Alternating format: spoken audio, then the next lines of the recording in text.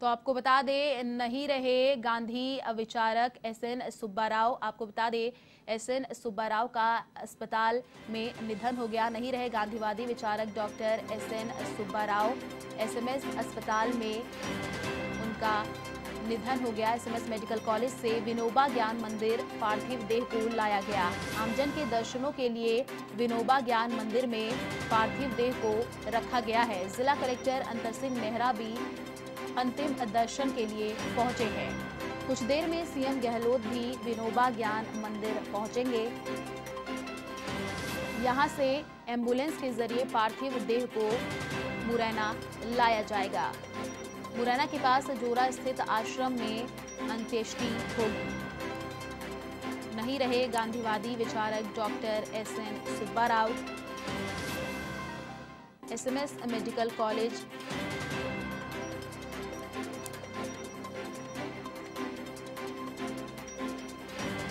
और इसी खबर पर अधिक अपडेट के साथ हमारे संवाददाता लोकेश ओला फ़ोन लाइन पर जुड़ चुके हैं। जी लोकेश, देखिए, पद्मश्री सम्मानित एस एन सुब्बाराव का निधन, कहीं ना कहीं ये बेहद दुखद खबर अपूर्ण क्षति, क्या कुछ अभी जानकारी? देखिए, बिल्कुल एक अपूर्ण क्षति कही जा सकती है, क्योंकि महात्मा गांधी जो बापू है, उनका एक चेहरा एस एन सुब्बाराव भी रहा है। दरअसल बात करें तो जिस तरह से स्वतंत्रता के जो आंदोलन थे, उनमें भी इनका काफ़ी योगदान रहा है। इसके बाद देश के लिए जो गांधीवादी विचारधारा के जुड़े हुए थे और लाखों लोगों को के प्रेरणा स्रोत थे एस एन सुब्बाराव जिनका आज अंतिम जो एसएमएस अस्पताल में आज निधन हो गया।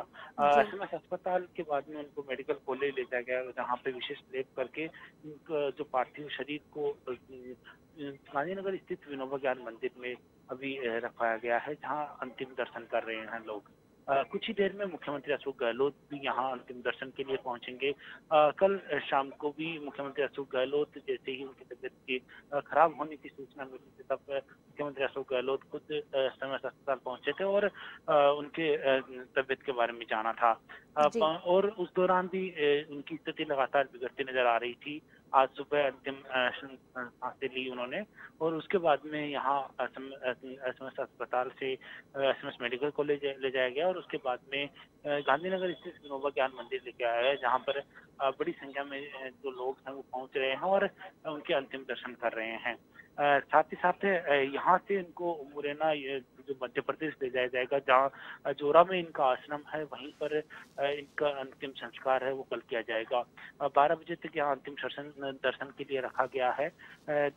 साथ साथ जो गांधीवादी विचारक है, उनका भी यही कहना है कि एक देश के लिए अपूर्णीय क्षति है, क्योंकि एक लोगों के लिए एक महात्मा गांधी जो विचारधारा थी उनसे जोड़ने के लिए लाखों लोगों के प्रेरणा स्रोत थे और हमेशा उन्होंने एक जो बड़े अभियान चलाए हैं और लोगों को काफ़ी जो उनकी ओर से ज्ञान दिया गया है और उनकी ओर से जो अभियान चलाया गया उसमें भी काफ़ी योगदान इनका रहा है।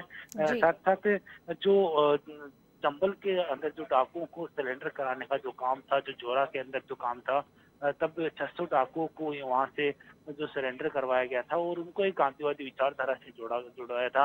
उनका काम भी इन्होंने ही किया था सुबह राम ने, और उसके बाद में उनको पद्मश्री भी मिला था। तो साथ साथ जिस तरह से इनके जो आश्रम थे, वहाँ पर गांधीवादी विचारधारा राजस्थान से भी काफ़ी इनका स्नेह रहा है।